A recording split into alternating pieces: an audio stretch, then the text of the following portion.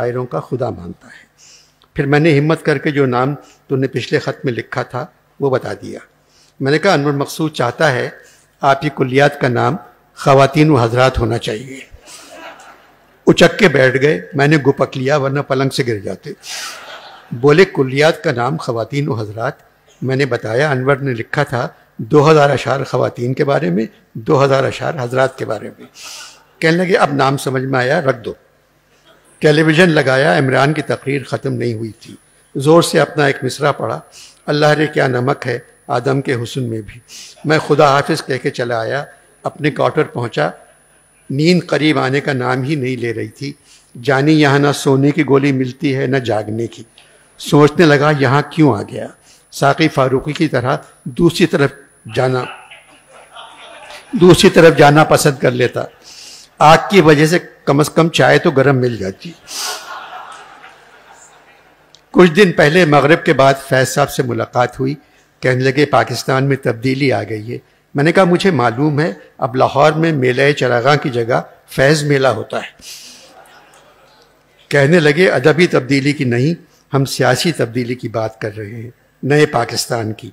मैंने पूछा, क्या मतलब नया पाकिस्तान? क्या महाजिर हिंदुस्तान चले गए?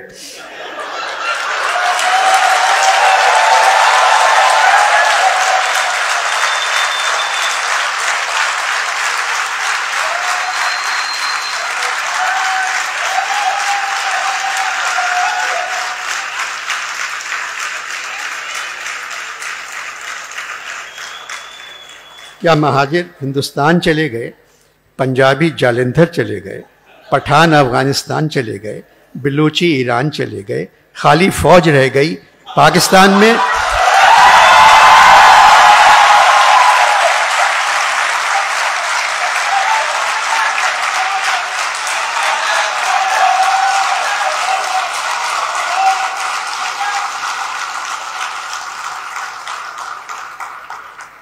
खाली फौज रह गई।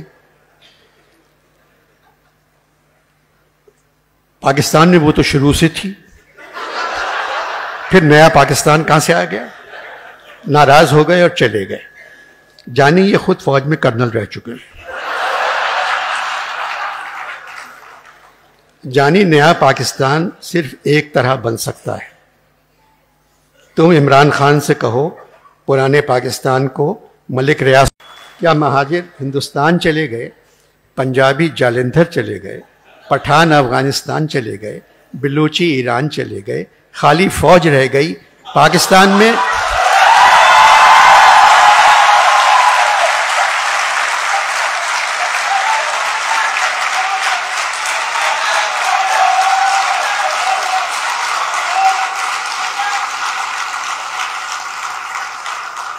दूसरे दिन मैं अपनी मकबूलियत की माफ़ी मांगने मीर साहब के घर गया। वो लेटे हुए टेलीविज़न देख रहे थे। यहाँ टेलीविज़न भी बग़ैर बिजली के चलता है। इमरान खान सफ़ेद शलवार, सफ़ेद कमीज़, काला कोट और लाल मफर डाले तकरीर कर रहे थे। मुझसे कहने लगे, बहुत खुश शक्ल है। इससे पहले हमारे वज़ीर अजम के लिए किसी और ख्वाहिश का इजहार करें। मैंने टेलीविज़न बंद कर दिया।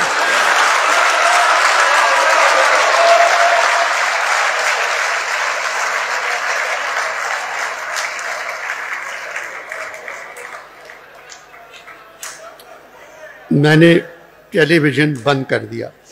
कहने लगे, इमरान है कैसा? मैंने कहा, न्याजी है मगर न्याजमंद नहीं। अकल है, मगर अकलमंद नहीं। फ़िक्र है, मगर फिक्रमंद नहीं। दौलत है, मगर दौलतमंद नहीं। मीर की कुलियात जो मैं तरतीब दे रहा हूँ तकरीबन मुकम्मल हो चुकी है। मीर साहब चाह रहे हैं, तुम इस किताब का नाम बताओ। मैंने कहा, किबला, आप अनवर मकसूद के घर एक मरतबा गए हैं। मैं हज़ार मरतबा जा चुका हूँ। वो ऐसा नाम बताएगा जिसके कई मतलब निकल आएँगे।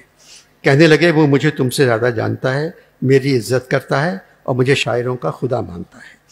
फिर मैंने हिम्मत करके जो नाम तुमने पिछले ख़त में लिखा था, वो बता दिया। मैंने कहा, अनवर मकसूद चाहता है आपकी कुलियात का नाम खातन हजरात होना चाहिए। उचक के बैठ गए। मैंने गुपक लिया, वरना पलंग से गिर जाते। बोले कुलियात का नाम खातन हजरात। मैंने बताया, अनवर ने लिखा था, दो हज़ार अशार ख़वातीन के बारे में, दो हज़ार अशार हजरात के बारे में। कहने लगे, अब नाम समझ में आया, रख दो। टेलीविज़न लगाया, इमरान की तकरीर ख़त्म नहीं हुई थी। ज़ोर से अपना एक मिसरा पढ़ा। अल्लाह रे, क्या नमक है, आदम के हुसन में भी। मैं खुदा हाफिज कह के चला आया। अपने क्वार्टर पहुँचा। नींद करीब आने का नाम ही नहीं ले रही थी। जानी यहाँ ना सोने की गोली मिलती है, ना जागने की। सोचने लगा, यहाँ क्यों आ गया? साकी फारूकी की तरह दूसरी तरफ़ जाना, दूसरी तरफ़ जाना पसंद कर लेता। आग की वजह से कम से कम चाय तो गर्म मिल जाती। कुछ दिन पहले मगरब के बाद फैज साहब से मुलाकात हुई। कहने लगे, पाकिस्तान में तब्दीली आ गई है। मैंने कहा, मुझे मालूम है, अब लाहौर में मेला चरागा की जगह फैज़ मेला होता है। कहने लगे, अदबी तब्दीली की नहीं, हम सियासी तब्दीली की बात कर रहे हैं, नए पाकिस्तान की। मैंने पूछा, क्या मतलब नया पाकिस्तान? क्या महाजिर हिंदुस्तान चले गए?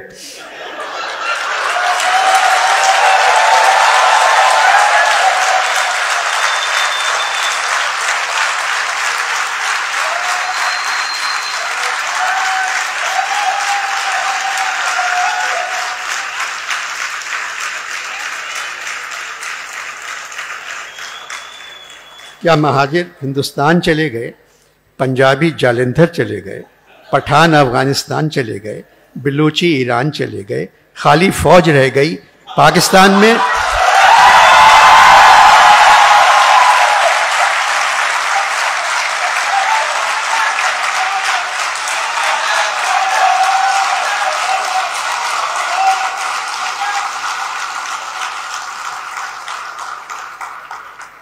खाली फौज रह गई। पाकिस्तान में वो तो शुरू से थी। फिर नया पाकिस्तान कहाँ से आ गया?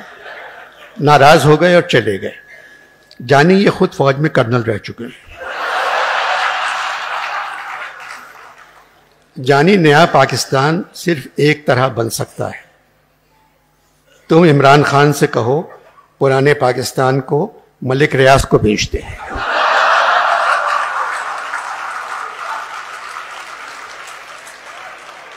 और नया नाजमाबाद के पीछे नए पाकिस्तान की बुनियाद रख दे पुराना पाकिस्तान भी कराची से शुरू हुआ था।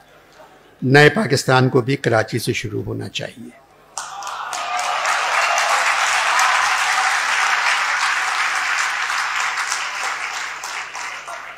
तुमने ख़त में लिखा था, तुम्हें एक फ़ंक्शन में शायरी और सियासत पे बात करना है।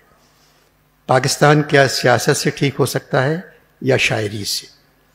जानी शायरी और सियासत में सिर्फ़ झूठ होता है। पोइट्री और पॉलिटिक्स में से झूठ निकाल दो तो सिर्फ़ सफ़ेद कैनवस रह जाता है। शायर अपनी हजल, अपनी गज़ल के हर दूसरे शेर में यू टर्न लेता है और सियासतदान अपनी हर तकरीर में यू टर्न लेता है। बस एक बात ज़रूर कह देना, अच्छे शायर के लिए अच्छा इंसान होना ज़रूरी नहीं है। मगर हर बड़े सियासतदान के लिए अच्छा बेईमान होना बहुत ज़रूरी है। इमरान ईमानदार हैं, इसीलिए मुश्किल में है। अब बचा क्या? पाकिस्तान सियासत से ठीक हो सकता है या शायरी से? कायद अज़म बहुत बड़े सियासतदान थे अल्लामा इकबाल मुहब वतन थे और बड़े शायर थे। अब पाकिस्तान में ना कायद पैदा हो सकते हैं, ना लामा। पाकिस्तान को तरक्की, अगर पाकिस्तान की तरक्की तुम देखना चाहते हो तो पंजाबी वकीलों को फौजी बना दो और पंजाबी फौजियों को वकील बना दो। मैं कसम खाता हूँ, ये दो दिन में सरहद पार कर लेंगे। जानी खत, ख़त्म करने को जी नहीं चाह रहा है, बस तुम्हें एक अच्छी खबर सुना दूँ। आज सुबह मेरी बजिया से मुलाकात हुई। शहद की नहर के किनारे बैठी क्यारियों में फूल लगा रही थी। दस पंद्रह हुरें उनके साथ थी। मुझे देखकर खड़ी हो गई और दोनों हाथ फैलाकर कहा, इधर आओ बेटे, कैसे हो? किधर हो? कहाँ हो? भाई तुम अपनी सेहत का ख्याल रखो। मैंने बजिया को बताया नहीं कि हम मर गए हैं। चानी अब बताओ, हम और बजिया क्या करें? आसमानों में गिर पड़े यानी हम जमी की तरफ़ उड़ान में थे। तुम्हारा जॉन जानी जाने मन।